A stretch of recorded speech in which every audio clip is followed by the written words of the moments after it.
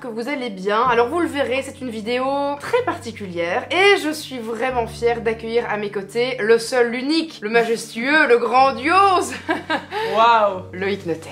Salut à tous. Loïc Notet que vous avez déjà vu sur cette chaîne parce qu'on a eu la chance de faire une exploration incroyable Ouais. euh, ensemble. C'était dans une prison. Si vous avez envie de checker notre exploration après cette vidéo, n'hésitez pas à vous faire un combo royal. Donc voilà, j'ai sorti le petit thé. Ah Sortez le vôtre parce que je peux vous dire que c'est du croustillant qu'on a ce soir avec Loïc. Donc pour ceux qui ne connaissent pas Loïc, Loïc est un artiste euh, musical.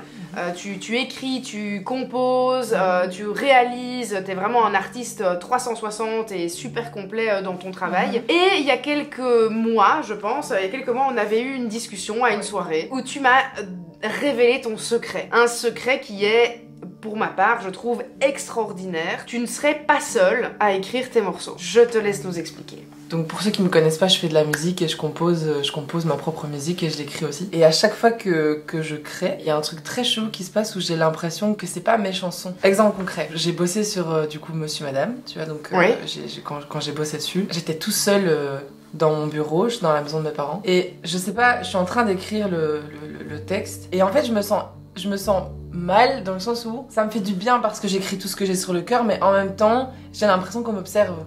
D'accord Tu vois, genre, je sais pas, je suis en train d'écrire et, et à chaque fois, je peux pas m'empêcher de me retourner parce que j'ai vraiment l'impression qu'il y a, il y a une espèce de silhouette derrière, quoi, Mhm. quelque chose qui me regarde. Et la vision que j'avais, l'image que j'ai vraiment, c'est genre, je sais pas ce que c'est. Enfin, je, je- moi, je l'appelle ma bonne étoile, mais je, je sais pas trop euh, ce que c'est. Mais je l'imagine vraiment comme quelque chose qui limite ouvre la bouche et, et genre, il y a plein de trucs qui sortent de sa bouche et arrivent dans mon cerveau comme ça, pfff, ça, comme ça, tu vois. Mais du coup, ça m'a déjà créé des, des moments chelous où j'ai l'impression que c'est pas mes chansons. Donc pour expliquer aux gens qui nous regardent, Loïc, toi tu as l'impression que quelqu'un arrive au moment où tu dois écrire des textes, Ouais, au moment où il y a des chansons qui doivent sortir. Mhm. Il y a quelqu'un qui arrive, tu le ouais. vois physiquement, Ah non, je vois pas, mais mais tu le sens, ouais, il est là. ouais. Et je Est-ce que tu plusieurs. l'entends Euh, Ou tu les entends parce que tu dis qu'ils sont J'ai l'impression plusieurs. qu'il y a plusieurs. En tout cas, j'ai l'impression que ma bonne étoile n'est pas qu'une seule euh, chose ou personne. Enfin, D'accord. Je sais pas trop c'est quoi les termes, les mots. En fait, quand tu dis je les entends, c'est plus je vais les entendre. euh, je suis couchée dans mon lit, ça, ça m'est déjà arrivé aussi. Mhm. Je suis couchée dans mon lit, je vais dormir et je sens que c'est très bizarre que je me sente vraiment, vraiment confort-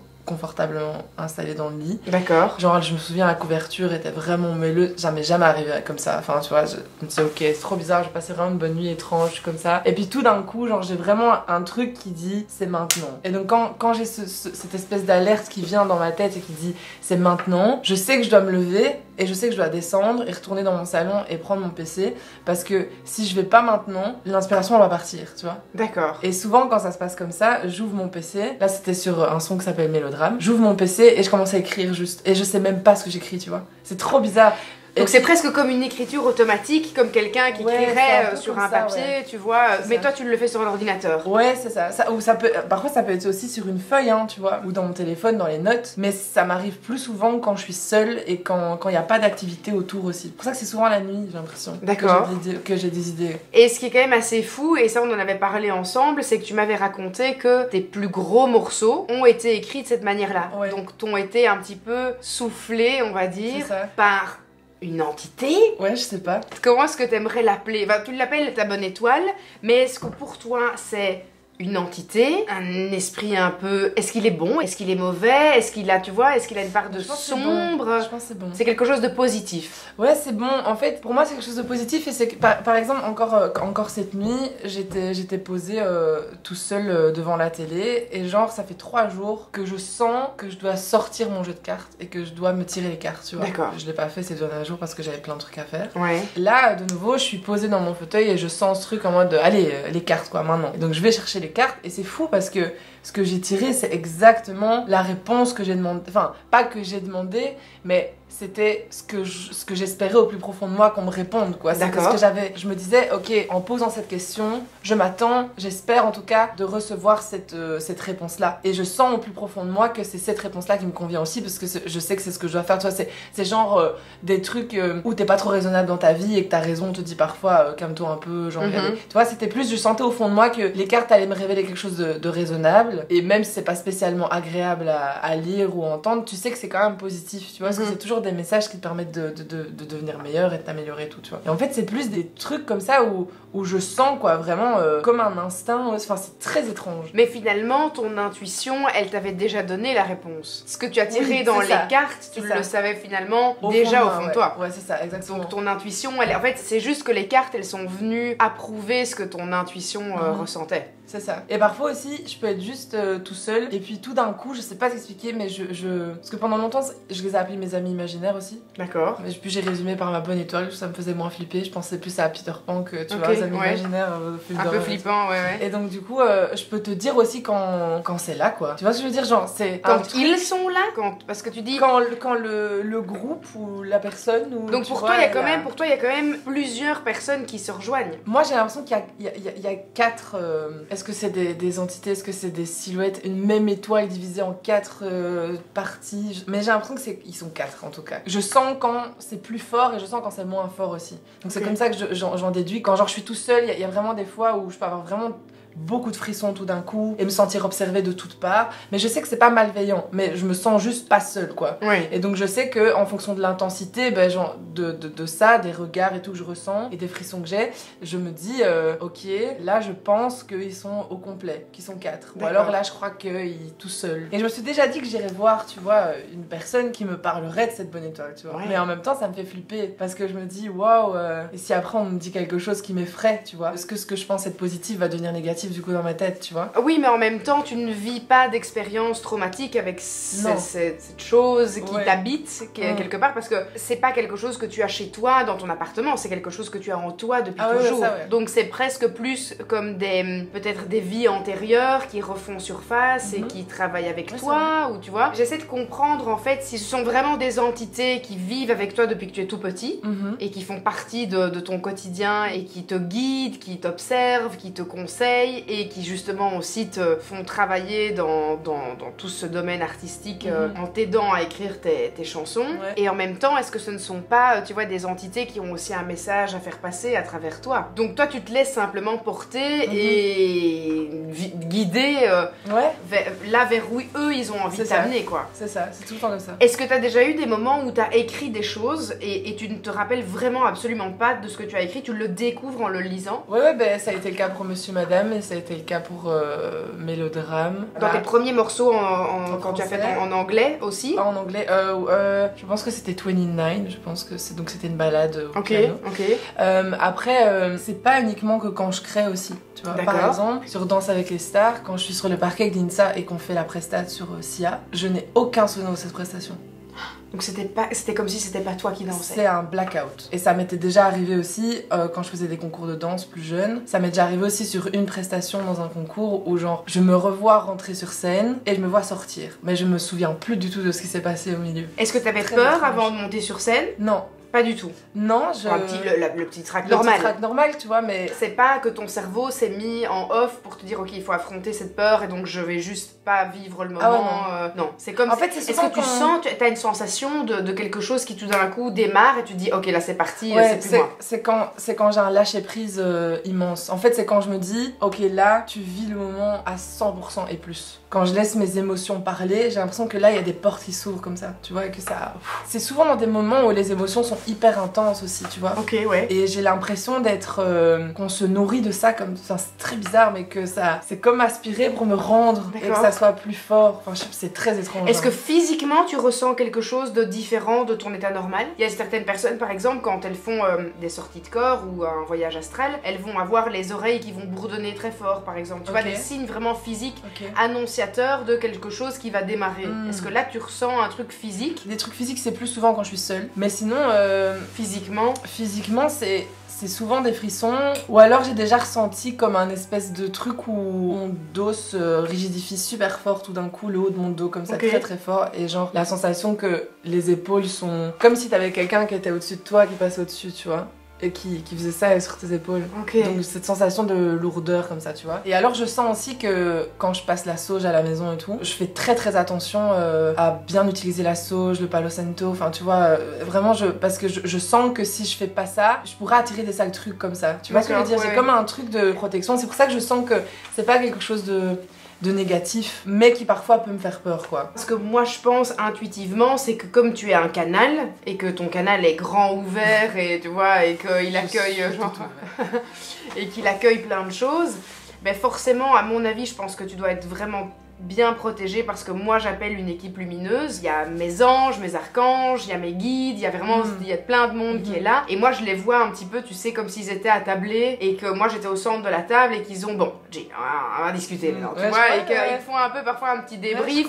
Ou bien qu'ils se mettent entre eux et qu'ils disent ok bon là ça va pas avec Jill il faut qu'on fasse quelque chose ou tu vois Mhm. et donc cette équipe lumineuse si tu la ressens vraiment fortement mais forcément tu vas aussi attirer euh, ce qui est beaucoup plus sombre parce que si t'es ouvert et si les portes elles sont Mm. Chez toi ben ça va attirer euh, des énergies négatives qui vont venir essayer de se nourrir de toi alors t'as ton équipe lumineuse qui peut se mettre vraiment comme un espèce de bouclier en disant wow wow vous restez bien loin mais évidemment ils ont aussi bah, leurs limites et donc c'est à toi Mhm. comme tu dis à bien te protéger aussi avec tout ce dont tu as besoin pour te sentir protégé chez Mhm. toi ou pour protéger en tout cas ton bouclier euh, pour pas que tu te fasses euh, bouffer par des trucs négatifs quoi. Ouais, c'est ça à fond. J'adore provoquer en plus. Parce enfin, provoquer, je le fais pas pour provoquer, mais j'adore regarder des films d'horreur. J'ai la poupée Annabelle à la maison. Ouais, j'ai- ouais. enfin, Ça te nourrit un peu de cette peur aussi qui est comme une sorte Ouais, d'adrénaline C'est ça, exactement. Et, et c'est c'est très étrange, mais par exemple, euh, les films d'horreur ou même, même la poupée Annabelle, euh, je sais pas, ça me rassure limite. Genre pour le clip de Beau Rêve, je me suis euh, métamorphosée en démon avec des lentilles et tout. Mhm.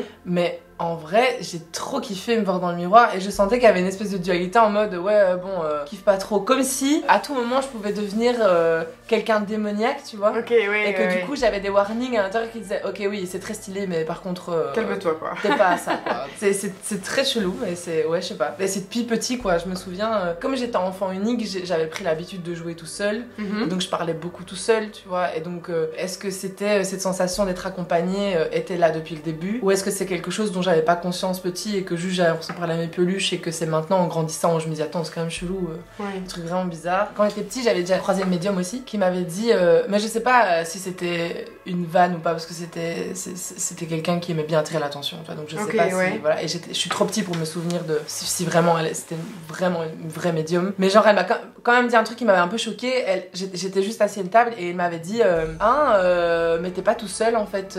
et et j'avais dit quoi Et elle m'avait dit qu'elle voyait quelque chose de, de sombre accroché à moi autour comme ça. Et donc j'avais flippé tout. J'avais dit mais si c'est sombre c'est pas forcément positif. Et elle Et elle m'avait avait juste dit quoi laissé comme ça. Ah, super. Donc j'étais en mode ah ok. Merci euh, Donc, pour cette coup- intervention, madame. Donc, du coup, j'ai plus jamais osé y avoir une médium et je me suis dit ah non s'il me lâche des bails hyper effrayants je vais rentrer chez moi je putain. Ce qui me passionne euh, dans, dans ton histoire, c'est qu'on le sait à travers les âges, dans le milieu de la musique, euh, on, on a entendu ces artistes incroyables, des musiciens de, de renom, de Mhm. musique classique, euh, qui avaient par exemple dans leurs rêves, où on venait leur insuffler euh, des notes, on, Ouais, leur, c'est vrai. on leur faisait écrire des partitions et tout ça. Est-ce que tu as l'impression de vivre à ton échelle un petit peu la, la même chose Même les mélodies, quand je les sors, ça vient de moi, mais en même temps, j'ai l'impression qu'on me les souffle, quoi. Donc, c'est toujours particulier parce que oui, c'est- je peux pas, je peux pas donner le nom d'un autre être humain vivant Oui, euh, dit en mode compositeur, Oui. auteur. mais en même temps, j'ai l'impression d'être un vaisseau. Donc, du coup, c'est très, je me sens, ça m'est déjà arrivé de me sentir vraiment comme un imposteur, quoi. Tu vois. J'allais te poser la question. euh, Après, heureusement, tu vois que quand je lis les paroles, je me dis, j'arrive à me rattacher en mode ah oui, ça me ressemble, c'est c'est moi. vraiment moi, c'est quoi. mon tu vois. quoi, ouais. Mais c'est plus que ce sentiment que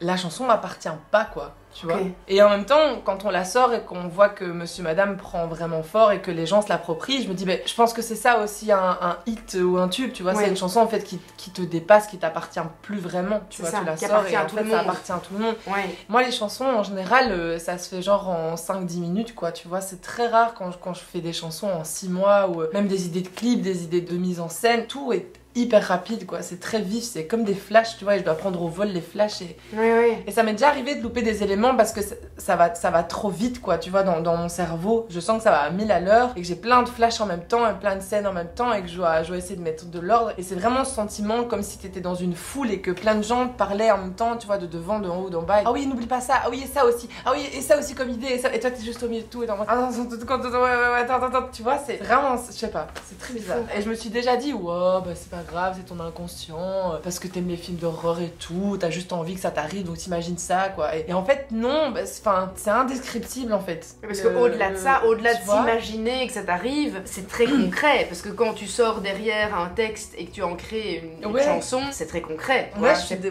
pas juste quelque chose que tu fabules et que tu t'imagines. euh, Et il y a toujours cette peur aussi. Après, tu vas me dire, bah, c'est sans doute comme toute personne créative, même toi. Peut-être que tu vas me dire, bah, moi aussi, quand je sors une vidéo qui prend bien, bah, j'ai toujours peur de de plus avoir l'inspiration en me disant, oh, il faut que je trouve encore une vidéo qui. soit Évidemment. Tu vois Mais Mais oui, moi, c'est évidemment. nous, c'est la même chose avec la musique. Quand tu sors une chanson, tu vois que le son prend de ouf, Ouais. bah, t'as envie de- d'en avoir un autre. Et en fait, moi, à chaque fois que je termine une chanson, j'ai toujours ce sentiment de, de panique en mode, Oh, et si c'était la dernière fois, tu vois Ah ouais. Genre, est-ce que. Parce que j'ai tellement s'il veut l'impression. plus me parler. Ouais, c'est ça, voilà. Est-ce que il faut, il faut qu'il continue à venir, quoi, tu vois, sinon je vais, je vais, je vais paumer, quoi. Mais ils sont là depuis toujours, donc ça serait Ouais. quand même étonnant que. Je les sens plus distants parfois. C'est vrai? Tu vois, il y a un moment donné où, euh, où j'en avais marre. euh, quand j'ai eu 25 ans, je me suis dit, ouais, j'ai envie de, j'ai envie de m'amuser, tu vois, j'avais jamais fait la fête avec des potes, j'avais jamais pris le temps de vraiment euh, me dévergonder un petit peu.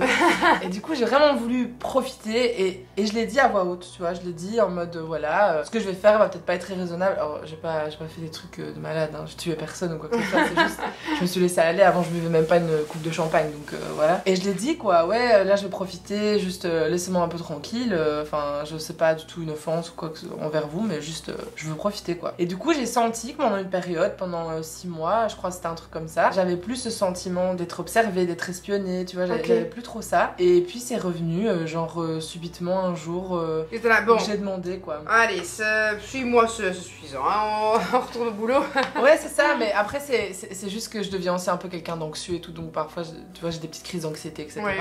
Et donc, ça, c'est avec, euh, à, à l'issue d'une petite crise d'anxiété, comme ça, que j'ai dit, bon, euh, je pense peut-être que je déconne trop, euh, peut-être que je dois, je dois me réécouter un peu, dormir plus, euh, manger mieux, parce qu'évidemment, la junk food, pff, ça allait, on s'amusait. Et genre après, c'est petit à petit, c'est pas revenu instantanément, mais genre dans les semaines qui sont arrivées, qui ont suivi, ben là j'ai commencé à ressentir et c'était petit à petit, tu vois. D'abord petit, donc je me disais ah, peut-être une personne, puis de plus en plus fort, et puis après j'ai dit bon voilà, je pense que là ils Ils sont tous là, quoi. sont tous là quoi. Est-ce que là, en ce moment, parce qu'on parle de ça et qu'on parle d'eux, est-ce qu'ils sont là?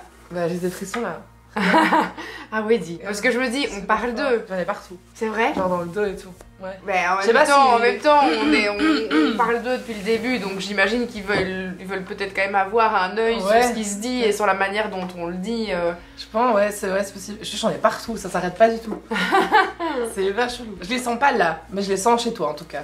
Ils sont en train de se balader chez moi ils ou quoi zonent, je pense. Je sais pas. allés voir Charlie. Le euh. truc zone en tout cas, genre en mode euh, regarde. enfin, Ouais, ouais, on vient Mais ça j'ai remarqué si aussi qu'à un moment de... Parfois quand j'en parle, euh, je... pour ça j'en parle pas souvent. Ouais. Euh, parfois quand j'en parle, euh, j'ai rien du tout. Et parfois quand j'en parle comme maintenant, j'ai des frissons de ouf quoi, tu vois. Et il y a eu un truc fou qui m'est arrivé aussi une fois. J'avais une intuition en mode non. Tu vois, comme si la personne à, laquelle j'a- j'a- j'allais en parler euh, allait pas me prendre au sérieux et tu vois, allait pas comprendre ou recevoir le message. Ouais. Genre, tu vois la petite sirène? Genre Ouais, la voix qui. ouais, ben, coupé. Ma voix cassée d'un coup comme ça. Ça n'avait aucun sens. Il y avait vraiment un truc où genre euh, non, euh, tu vas fermer ta gueule en fait, tu vas pas parler. Et c'était ok de venir ici et de finalement dévoiler un petit peu ce secret euh, que tu as au grand jour? Oui, parce que je, je sens que bah, ici c'est rempli de bienveillance. Enfin, tu vois, genre je sais que je parle à quelqu'un qui ne va pas me juger plus, Non. tu vois, qui, qui va qui va comprendre. Comme ça reste bienveillant. En fait, je pense qu'il y a un mécanisme de protection très très fort aussi du fait que j'étais beaucoup critiquée quand j'étais Mhm. petit pour ce que j'aimais faire, etc. Genre la danse et tout. J'ai l'impression que maintenant, dès que je m'approche de personnes où l'énergie, euh, je sens que ça pue un peu et Ouais. que ouf, on n'est pas vraiment sur la même longueur d'onde, j'ai tendance à fermer la porte aujourd'hui, Ouais. tu vois. Et donc je sais pas, c'est comme quand je t'ai envoyé le message en mode vas-y, on ferait pas une vidéo ensemble. Ouais. J'ai pas réfléchi, tu vois. Genre c'est juste, c'est même pas que j'étais sur mon téléphone. hein, C'était euh, ok pour toi. C'est tout d'un coup, ça allait, j'ai envoyé un message à J, je lui ai demandé quoi. Tu vois, j'ai pas réfléchi. Ils ne t'ont pas dit euh, non, non, non, on fait surtout pas ça, ne le dévoile pas. Parce que là, tu m'en parles à moi et c'est vrai que moi, évidemment, je le prends avec énormément de, de bienveillance et Mhm. en plus, j'y crois à 100%, donc tu dois pas me convaincre. Mais les gens qui nous regardent et tout ça, on le sait qu'une partie du public n'est pas bien, bienveillant et Ouais. est là juste pour euh, justement venir euh, critiquer ou juger ou ne pas croire à ce qu'on raconte. Donc, Mhm. tu te sens ok avec le fait de, de le dire aussi, quoi. Ça, Ah ça te pose pas de soucis euh, par rapport Non, à parce ça. que Tu sais, au pire, euh, moi je trouve que la vie euh, c'est assez simple au final, tu vois. Genre, euh, si les gens ont envie de, de- de croire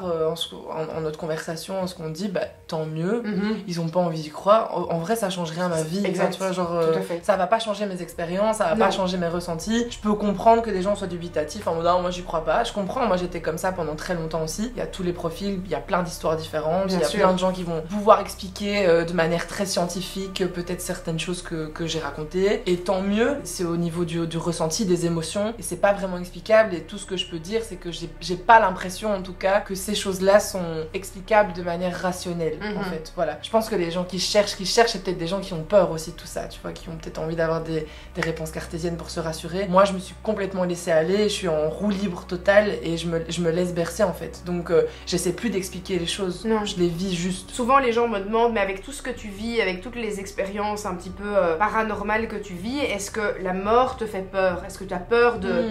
de la mort? Aujourd'hui, avec les croyances que je me suis construites, parce que Ouais. bah, tu te construis euh, tes propres croyances, et moi j'aime bien prendre un petit peu partout et me faire mon petit pot pourri, euh, tu vois, avec vraiment tout ce que j'aime bien. Je dis souvent, parce que tu vois, moi j'ai une peur panique dans l'avion, je suis phobique de Ouais. l'avion, et je dis non, j'ai absolument pas peur de, de mourir. La sensation de mourir, ou même la douleur, ou ce qui se passe Mhm. après, euh, ne, ne me fait pas peur. Je suis même curieuse de voir euh, si- s'il y a quelque chose. Mais par contre, ce qui m'effraie, c'est que j'aime trop la vie que j'ai maintenant. Ah Et en fait, c'est ça que je ne veux pas perdre. Je n'ai pas peur de mourir, mais je ne veux pas arrêter de vivre. Ouais, ça. Et la vie que j'ai aujourd'hui, mes enfants, la personne avec qui je vis, ma maison, tout ça, mon travail, je mais je ne veux pas que ça s'arrête. Mhm. Ouais, c'est ça que j'ai pas envie de perdre. J'ai pas envie de perdre, j'ai envie de mourir la- la- la- le plus tard possible pour voir mes enfants le, le plus longtemps possible, d'être grand-mère, d'être arrière-grand-mère, tu vois. Je pense que c'est une belle vision aussi de se dire, on a le droit d'avoir peur, mais ayez peur de perdre ce que vous avez aujourd'hui plutôt que d'appréhender ce qui se passe après. C'est ça. Et ça te permet aussi de vivre encore plus à fond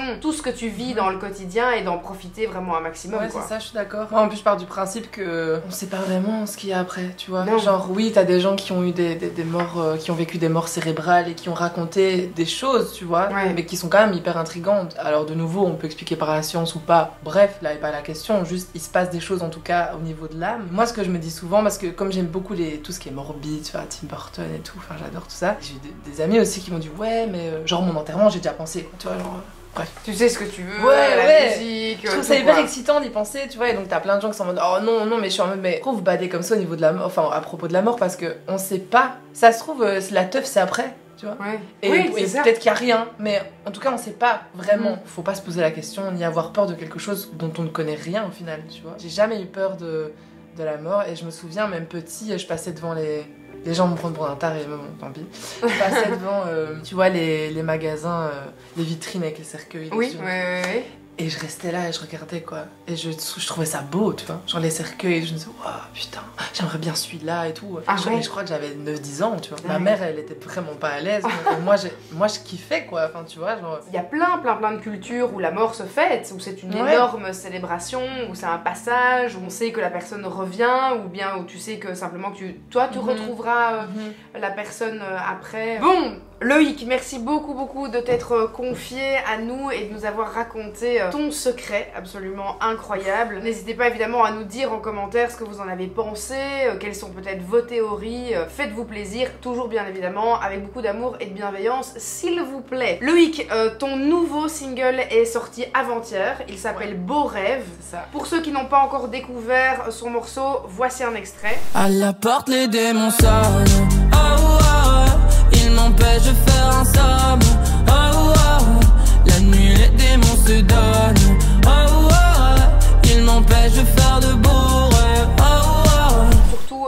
Pas à aller euh, le streamer euh, partout sur toutes les plateformes. Je vais vous mettre dans la description de cette vidéo tous les liens de stream de Loïc, comme ça vous pouvez Trop aller. euh, bah oui, évidemment. Ça. Attends, comme ça vous pouvez aller streamer son morceau. Le morceau est incroyable, je suis certaine que vous allez kiffer. En plus, on est vraiment un petit peu dans toute cette vibe. Et ce morceau raconte justement Ouais. cette histoire que tu nous as racontée aujourd'hui. D'ailleurs, qui a écrit ce morceau? Toi ou euh, Ah bah écoute, c'est très étrange, ça a été très vite, ça a été en studio. euh, donc quand c'est comme ça, je. Pas moi en tout cas, enfin je sais pas. C'est Enfin, eux, quoi. Moi, mais. pas eux, Oui, pas toi, euh, ton, ton Voilà. corps, mais une autre conscience. Oui. quelque part. Ouais, et, et ça a été très très vite, donc euh, Dingue. là je pense qu'ils étaient tous là. Bon ben n'hésitez pas à aller l'écouter et justement peut-être repérer dans les paroles des chansons ce qui vous fait penser à tout ce que Loïc vous a raconté aujourd'hui. Merci beaucoup d'avoir été si nombreux à euh, nous regarder. Je vous fais des gros bisous. On se retrouve très vite pour de nouvelles aventures. Ciao ciao